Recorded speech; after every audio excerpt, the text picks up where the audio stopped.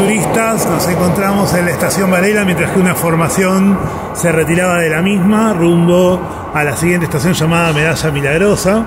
Este es el, el andén que va hacia Retiro, ese es el andén que vuelve para Plaza de los Virreyes. Estamos a una estación de Plaza de los Virreyes y prácticamente toda la línea para allá hacia Retiro, que es la otra cabecera.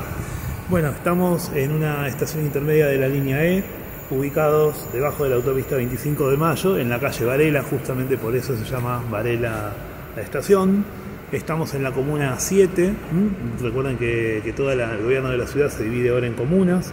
El kilómetro 11.1 desde Retiro, Retiro está para allá, así que estamos a 11.1 kilómetros, mientras que viene una formación.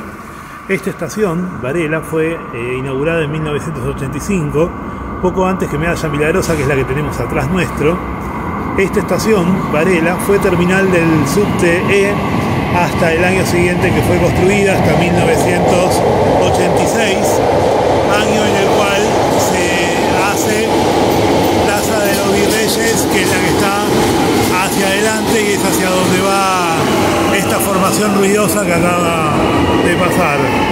Cerca de aquí, cerca de esta estación de la que estamos, de Varela, está el Hospital Piñero, que es un hospital general de agudos del gobierno de la ciudad de Buenos Aires, y por otro lado está el cementerio de la del cementerio de Flores, justamente.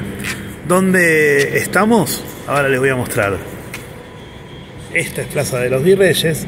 Estamos acá, que es la siguiente, la estación Varela. Este subte que tengo detrás mío, estaciona este recorrido yendo para ahí. Y luego de esta tenemos hacia el lado del centro, Medalla Milagrosa, Emilio Mitre y así otras estaciones que son un poco más nuevas. Bien, acá tienen todo el mapa de la red para que lo vean. Así que bueno, esto es lo que hay que contar de esta estación. Es una estación que no tiene demasiada cosa, tiene, eh, eh, tiene intervenciones artísticas en el entrepiso, no tanto acá abajo. Acá ven que es bastante conservador y un estilo propio de los años 80.